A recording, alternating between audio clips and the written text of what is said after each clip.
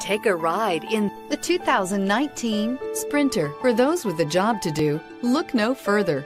The Mercedes Sprinter is for you. This vehicle has less than 100 miles. If you like it online, you'll love it in your driveway. Take it for a spin today.